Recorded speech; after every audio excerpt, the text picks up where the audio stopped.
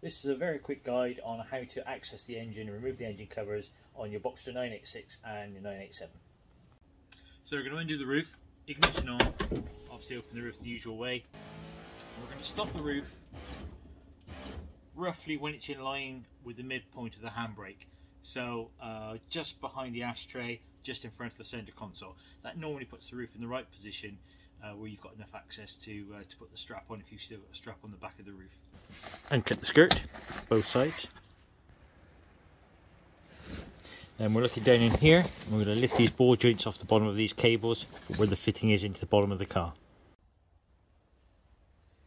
Lift the back of the roof, push the glass down and lift it up so it knocks into place and then you can put your strap around the side of the roof frame if you have one. Most cars are equipped with a storage box over here so what we need to do is remove this. It's the same whether it's just an empty storage box or whether it's a Bose system. The Bose system has a plug which is over the driver's side on the right hand side. Um, but basically what we're doing is twist these fixings 90 degrees, give them a wiggle and they'll lift up both sides. Same again on this side, quarter of a turn anti-clockwise and then give them a wiggle. Once you've done that, the box is loose to lift out and it's very heavy if it's got a Bose system in it. So cars with Bose sounding, they will have a small black plug here uh, on the right hand side. Uh, part of the plug stays on the frame when you unplug it, so pinch between your finger and your thumb and just pull the plug off. Uh, it's a shake plug as well, so it only go back on the one way, so you can't get it wrong.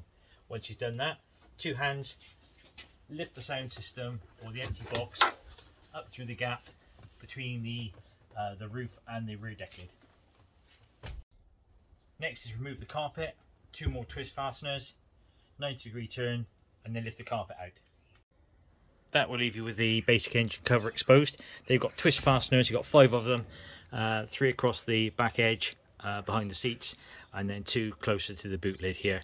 Uh, so it's literally half a turn to a whole turn. Um, because they're way they're fitted, you might have to give them a bit of a wiggle, but literally just turn them and then the engine cover will come loose. Again, one over here, just need to give it a little bit of another turn. There we go.